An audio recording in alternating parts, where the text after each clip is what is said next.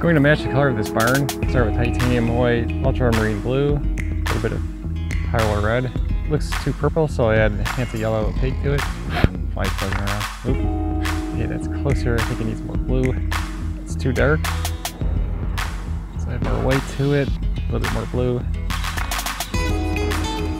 More red. A touch of yellow. See if I can line this up. I think it's where I was matching it. Looks pretty good.